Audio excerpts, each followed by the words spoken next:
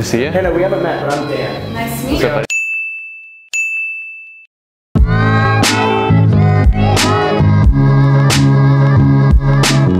So I feel weird like standing up and lecturing at you guys. Um, I'm gonna talk a little bit about the framework and then I wanna hear like what you guys already have in place, what you guys are already thinking about, and then we can just kind of workshop from there. Um, so to folks that don't know me, I'll quickly introduce myself. I played at Pitt uh, 2010 to 2014, uh, captained the team in 2013, 2014. And what I do now is run a creative marketing agency with Hannah uh, called Piper Creative. And so we're creating content all the time for ourselves, for clients, um, thinking about marketing all the time. That's like the prism through which I kind of view the world and storytelling. So um, the big thing that I wanted to come and like put in front of you guys, and if this is completely 101 obvious stuff, just rip me a new one. Um, but is understanding through the lens of sales, marketing, and branding. What we do with our company is a lot of top of the funnel branding by trying to put content out there and trying to put, you know, more touch points, more familiarity with the brand of Piper Creative in the same way that you guys are um, like you did the halftime interviews on Twitter, you, you like doing new things from a content standpoint. That's all top of the funnel new touch points with people. But what's actually going to move the needle is a really concerted, focused, well strategized sales effort. Um, I don't necessarily know if you need to put it like a CRM in place, but there are literally free CRMs where if you wanted to, that would be the type of thing that I'm sure there's not another program doing uh, period. So that's kind of the framework that I want to bring it to. And then where I think the real creativity happens is in the marketing side, which is where kind of occupies this space in the middle, where branding, like, um, you know, my mom's friend's husband like follows Pitt Ultimate on Twitter because I played once and then he got into Ultimate, but like he's not producing a recruit for us anytime soon, right? He just is more or less a fan.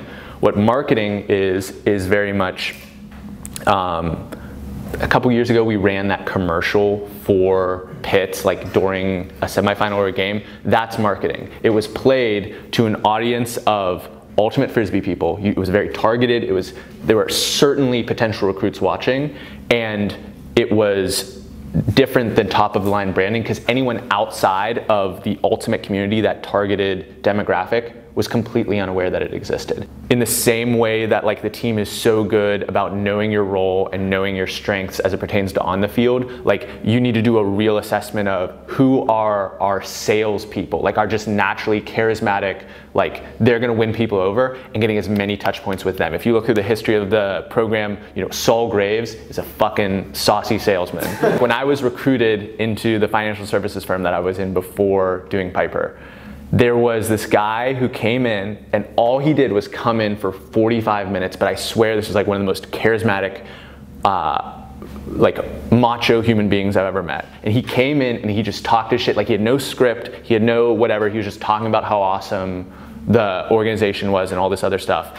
And he did that to 11 people all at once and that was like what he was there to do he wasn't there to like show you where to sign the paper. He wasn't there to show you the detail that is more scalable. He had that skill set and he was completely enabled to go in and do that. So that's like your, in terms of your own process for that, recognizing who those people are within the group and enabling that because that's much more valuable and, and the other type of thing that just isn't necessarily being utilized by other programs. And then on the content side, there's all this top of the funnel type of content like, hey, we just beat Central Florida, like here's the picture of the team, yada yada. Is there anything, and then we have like the alumni newsletter, which is for alumni. Is there any family of content that is oriented around people coming to play College Ultimate?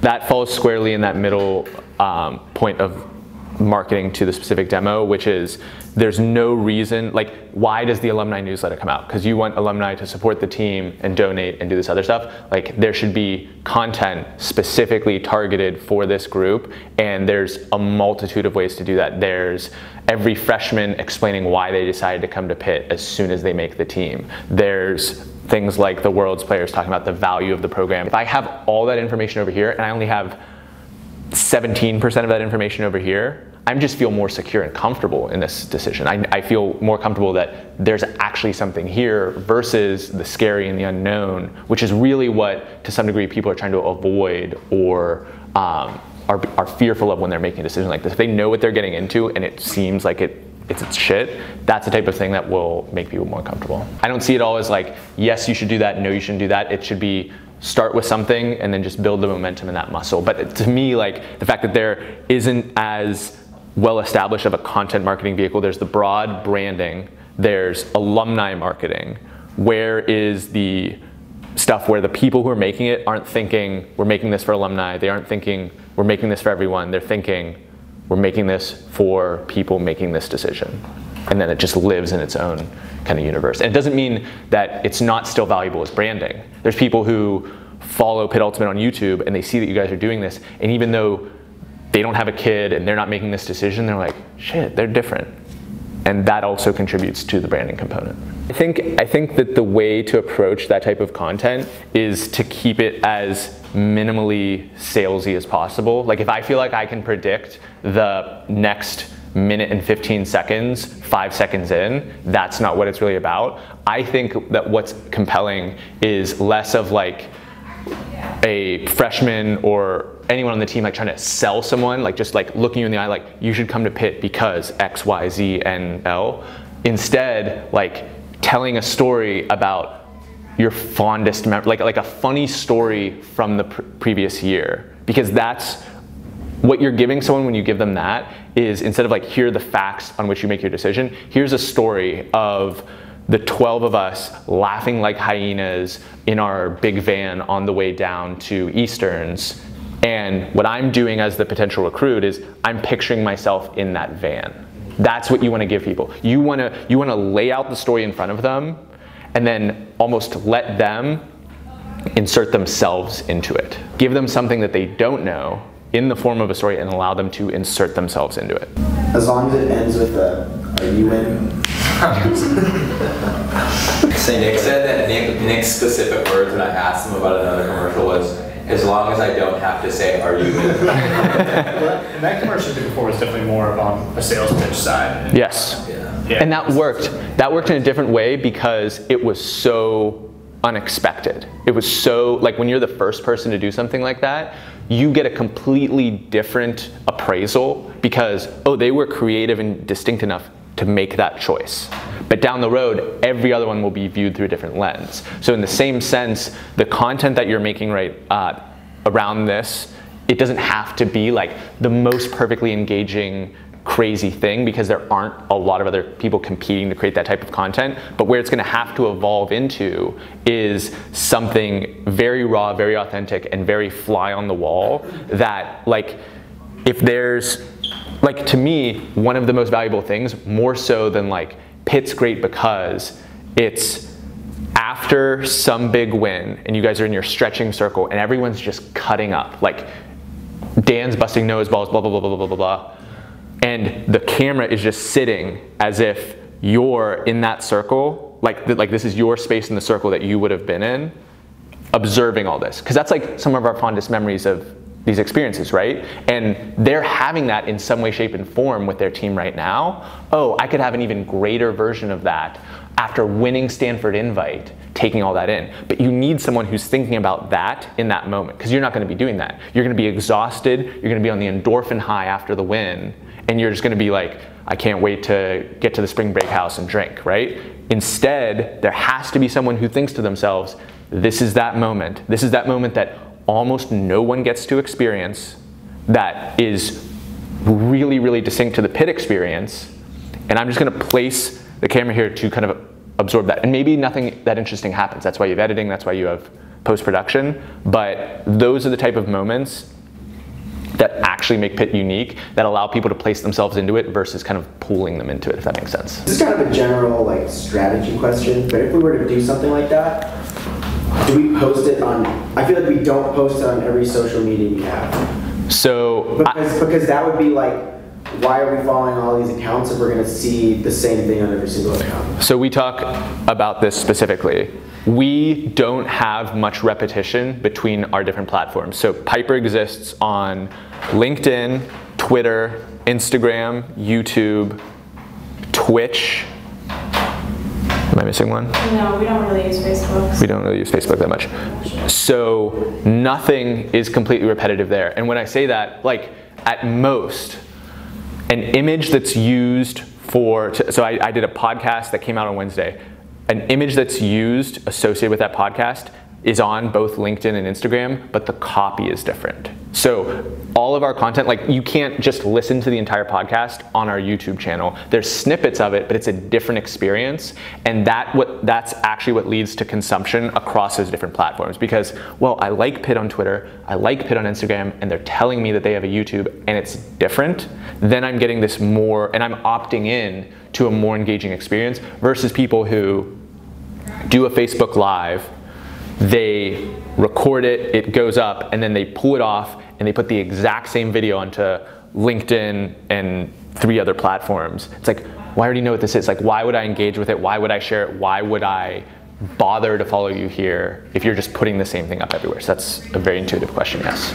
So with what you were saying about like having just camera on more often to Yes. find like, it's, that seems something that for all of us is difficult to do, especially when we're all playing. That, that's what I think about like with Twitter as well. Right. Is that like it's great to get someone to tweet, but not everyone's good at it. Right. You know, whoever is not playing does it. Would it be worth bringing someone else on that doesn't play to take care of this kind of stuff? I mean, to me, that's like the ultimate. That's like this question that it's there's no perfect answer to, right? Like I wouldn't be comfortable with 99% of people producing the vlog for Piper, but because I knew Hannah and I had met Hannah previously and seen her work, like I knew that it was going to work. So if someone fits that bill and they're like, I would love to hang out with you guys for the entire season. I know I'm not that good, but like I love shooting and, and doing social media stuff, then hell yeah, like that would be great. But don't make the mistake of, well, we have this role that needs filled, and let's just find someone and force them in when they don't necessarily fit. That's, I think that would actually be more detrimental than positive. Like doing it just for the sake of doing it isn't gonna work. It's, what's gonna work is people who are invested, people who have a why, people have an entire framework for what it is that they're doing. Everyone thinks when they're creating the content that that them not necessarily having all those things in place doesn't matter, but it's intuitive to all the people consuming it. So like when you have a why and a whole philosophy behind what you're doing, that resonates in ways that might not necessarily be like consciously acknowledged by most of the audience, but that is what leads to people really being loyal to the stuff you're putting out. And the other side of it, so so answering that question in a different way of like bringing someone on to do that, like there, the other thing that has to change is what is what is culture and i mean as the leaders of the team you guys have a lot of power and agency in this but what the actual culture of the team is when it comes to making those choices so we're our company is in like from the jump has had a vlog that we like that's a core offering that we're doing it's just the like dna of the company and when you're in something like this where you have the value of every year that you're turning over a new leaf, every year there's new policies and new plans and new schemes, but there is still some degree of like institutional inertia, for lack of a better word. And the choice of like at the first tournament, when Lemberg pulls out his phone for like we're in the van for a debrief of the tournament or something like that, like the what what immediately um, submarines that is if someone's in the back super cynical about it and just like talking shit not in like a fun way but like in a like why the fuck are we doing this type of way? Or y- you understand like the energy that they could portray that kind of just like no one else is excited to talk to the camera because someone in the back is to bust their balls later. Like the biggest aspect of that is the buy-in. Like I can completely, without hesitation, sh- show up here and put up two cameras, and I'm just like, that's natural. That's just what we do. But if it's weird and like it's uncomfortable, and three people immediately give a shit for coming the coming in with cameras, it completely changes the way in which I'm going to act in front of the camera. If that makes sense. So that's also has to be a conversation outside of the social media group. Like you have to get, once again, coming back to that sales, you have to get the one-to-one buy-in of this is what we're doing, this is why we're doing it, this is how it's gonna make Pitt better and differentiated from absolutely every other program in the country, and it's gonna be awesome. Like pulling people in, and then once you have enough people in, like you understand how these groups work, you have the leaders, you have a couple other key stakeholders, and then every freshman's gonna be like, yeah, this is awesome. Like they're just gonna follow along, but you have to set the stage for that to happen in the future. If if someone is in your head right now on the team who's going to be like out on this idea, like the, like the person that would be the biggest risk for something like that, you need to have the conversation around, look, we're concerned about it being this. If you don't want to really be a part of it, like if you like you don't have to move them all the way to like, hi guys, I'm Steve, like like talking to the camera. You don't have to take them all the way there. But if they just don't want to be on camera, they're like, this is not something I'm about, it's not something I'm interested in, it's like, cool, we will keep you out of it more or less, but we're gonna do this and we just need the like, we need to understand why, and that is also gonna change their perception of it. They're not gonna rip you guys when it comes up. We kind of we kind of started to do something like that. So the year that we had Chuck do the documentary for us at Nationals, Noah and Lem had the idea of kind of doing a season-long documentary. So like, we talked about that once at like Winter League. Yeah. We didn't end up doing it. I don't. It just kind of didn't really work out. But I think, I think it was very intimidating to try and create a whole documentary. But I guess yeah. what you're going on about is like little tidbits.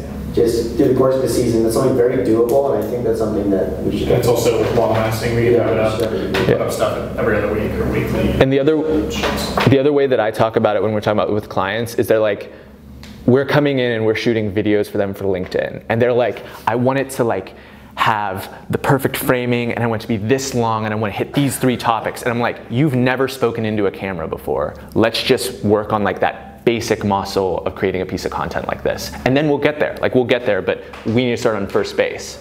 And so in that same sense, like going after something too audacious, even even setting something like, you know, we're going to put out a five minute video every two weeks, that might be too much after the first week's like, fuck, I don't, there's no way this is gonna happen. Put, put yourself in a position to get those early wins and it's, those wins aren't oriented around how many views it has or anything like that. Literally, all it is is like, oh, we're learning how to do this and in the same way like we talk about all the time, episode 45 is orders of magnitude better than episode four for our vlog or any of these other things. Like you're just gonna build that content creating muscle, get more comfortable with it, and then six months down the line, or if you think about Pitt three years into the future, you're just in a completely different place than everyone else. How do we know what we're doing is the right thing? You don't. So how, how, are, so how are you how are you changing what you do in the future if you don't know what you're doing is right or wrong? So there's two avenues to that. So there's a really good book called The Creative Curve written by Allen Gannett. And the whole premise of that is that the underrated aspect of creativity is what you're putting in at the top. And by that I mean, who are you consuming? If you're reading uh, Tolstoy and like the best authors of all time, you have a much better chance of writing a great book than if you're reading some buffoon. Similarly, if you're trying to create four minute YouTube vlogs, what I would be doing is going around and trying to find every single vlog of sports teams. Which ones do you like the best? What are they doing? What choices are they making? And not consuming it purely as entertainment, consuming it as a fellow creator and breaking apart the things that you like that they do, the things that seem to engage you. On one end, that's going to inform the choices that you're making when you're in the creative stage. The second aspect of that is the feedback that you're getting. And frankly, there's going to be a lot of complete quiet. One of the rules of the internet is called the 99-1 rule, which is 90% of the people that consume your shit will never tell you about it, will never give you feedback, will never engage whatsoever. 9% will engage every once in a while, and then there's people who just seem to respond to almost freaking everything, right? And so what you get confused by, there you go, see? Right? So what, what, what confuses your brain, because we've got these old uh, unevolved brains is you're like, oh, this 1% of people, like, that is the truth. That is what people think. And you can overcorrect to whatever that feedback is. These three people think we're awesome, so we must be the best videographers in the world. It's like, that's probably not the case. But conversely, if there's negative, like, you need to adjust. You'd be like, like, one of the biggest pain points is people aren't gonna say, boring, like they're not just gonna yell that, like this is a boring video and you need to spice it up. But if you're looking at YouTube analytics and you see that no one is watching past the 55th second of a five minute video, then you've got a clue that like, oh, we're not maintaining people's attention. And we need to look at this part of the video. Why is this putting people to sleep? So those are the two aspects. Like there's gonna be feedback once you get it out there, which is why we always push people to ship. What do people say? What do people think? Because even in this group, like this is a pretty big group. If everyone was thinking about content, it can slow you down because everyone has ideas, but also you have a lot of eyes who could like decide that something's good. But better than this group, this is still all Pitt people. This is still all ultimate people. This is still like you guys are very, very, very similar putting it out into the world and seeing how people engage with it is actually going to give you a greater uh, degree of feedback than talking it through here eight different times. Who are you guys consuming? Who's doing content well?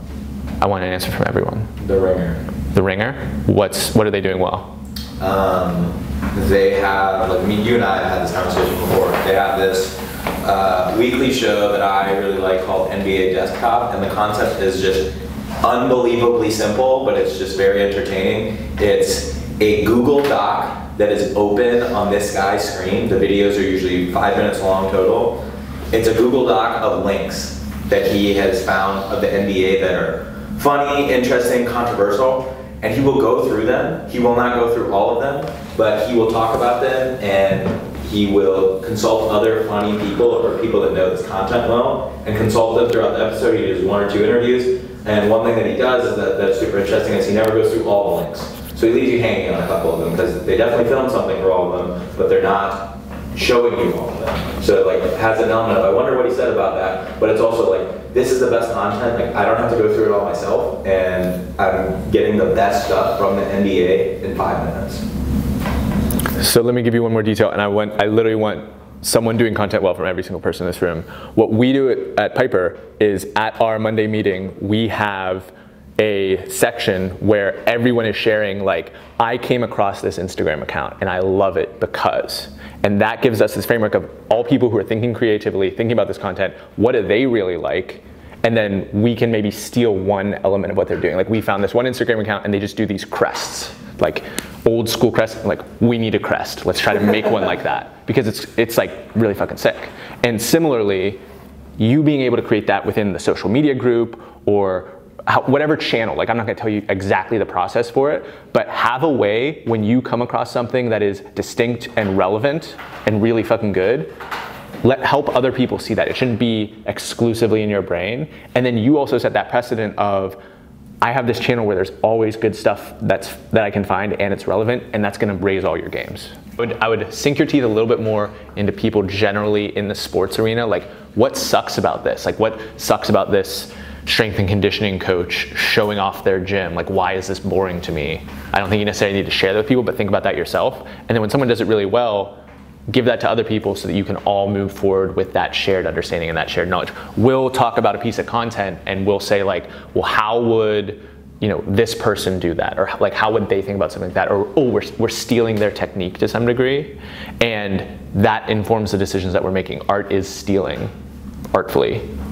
Creating any sort of content that just shows all these faces to a bunch of people as really knowing your shit that's the type of thing that even further, like when Hafiz shows up to Impulse next time, it's an even er, even bigger deal. Or when you decide, oh, I'm going to coach Hampton's Ultimate Team, or wherever it is. Like there's a different degree of respect and authority that you grant yourself when someone has learned from you over an extended period of time. And that's also thinking about things differently in the form of creating something for the ultimate community. So we're in that marketing space, establishing yourselves, but also lending credence to your authority and how much you clearly know all this, even if it's not necessarily connected, or it, could be like your freaking scion. You could be like, and we know all this because we go to Pitt, or something like that. Like, that's gonna rub a certain percentage of people the wrong way, but other people are gonna be like, well, fuck, they know all that because Pitt. You know what I mean? Like that. That's kind of how that stuff works. And it doesn't always have to be so on the nose. But the other kind of idea that I wanna I wanna share with you guys is something that. Uh,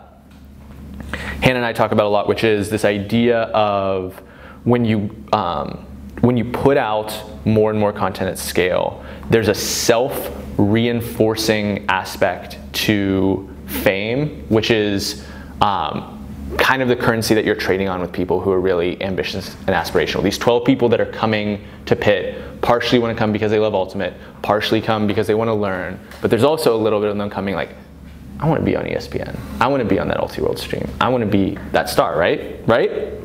And so part of the reason that that reinforces, part of the reason that Charlie and whoever know more details about Pitt than the other team is because you've just put more of the information out there for them to soak up, which leads them to feeling more comfortable which is going to lead them to feeling more comfortable talking about you. So I'll give you a micro example of that because this is only like a recent thing that I came to realize, but it's very weird. I had a friend who came down for the event that I did in January who, like, we didn't go to the same school, but we've known each other for a while. Um, would like visit each other's campuses and, and drink together. And he came and came to the event, and then afterwards, I was having trouble asking him about himself. Like the conversation, this is gonna sound incredibly narcissistic, but this is not like the intent of it. The conversation kept coming around to me and what I was doing. And I was trying to self-assess, why was that the case? Like, why weren't we talking more about him? Because I would like throw it out there and the conversation would kind of wither and then he'd ask about me again as opposed to continuing to offer about himself. And there's things associated with shame or self-confidence or, or anything that could be related to that but once that started to replicate, what I started to realize is we're two people who don't see each other very often at a party. And you know, we see each other every 10 months. We barely know what's going on, but like we kind of are connected on two social media platforms. And for whatever reason, all this content's coming out about me. All these details of what's going on with my life, my company, what I'm working on, and for whatever reason you're not. Then we're sitting at a table and you have 18 data points about me and I have three data points about you. And in that environment, both of us are more comfortable talking about me, which then leads to more data points coming out, and therefore that differential extending itself. So what that means is, I like, do you still work at Pepsi? Like I, I, I'm like asking this question that's embarrassing for me to ask. It's uncomfortable for you to answer. But when you can sink your teeth into this 202 level question about what it is that I'm doing, you feel more self-confident because you've asked that question. And I love talking about myself anyways, particularly when it's nuanced and not just like, so what are you doing, right?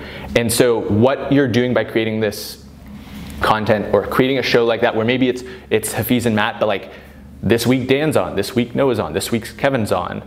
Um, you're creating this universe of people that everyone else is more familiar with and when I'm coming in as an announcer or I'm coming in as a potential recruit or whatever, and I know 13 players on Pitt and two players on UNC, or, or creating that type of differential, it comes back to that comfort thing of like, oh, I know people there. Even, even though you don't know them, you feel like you know them, and that's where you want to be. Like I can, I can pretty safely guess that if the ringer was just like, hey, Hafiz, will you come work with us?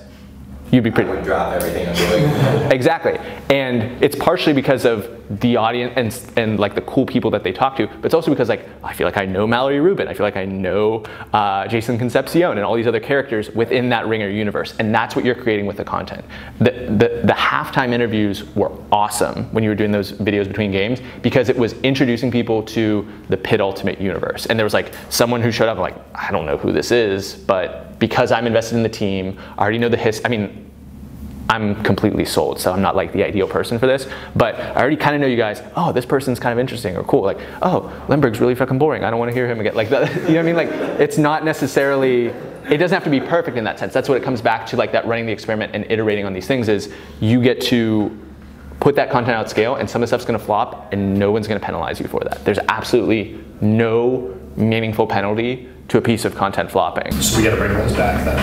I think that I think that's an absolute layup. I think like the reason it stopped was just because we had different people on Twitter, and we just need to whoever is responsible just gonna be a rule. Like you're doing them, Right. you're on And, and so here's the other thing. Like, I'm not super interested in your guys' tweets, like, in the middle of January during the week. Like, just in terms of me as a consumer, like, I don't really care. But on a weekend when you're in Florida, when you're in, in Stanford, I'm reading every fucking tweet.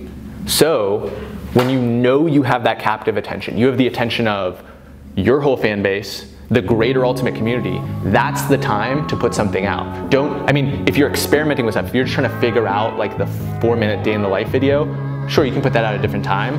But when you have something good, or just in general, like we have a philosophy of like we want to do these type of videos, that weekend is the time to do it, which I know you're doing these other things. Maybe they're recorded beforehand. Maybe, maybe you recorded all the freshman testimonials the week before and they're edited, and then they just go up after each game that weekend because everyone's watching, right? Take advantage of when you have that attention.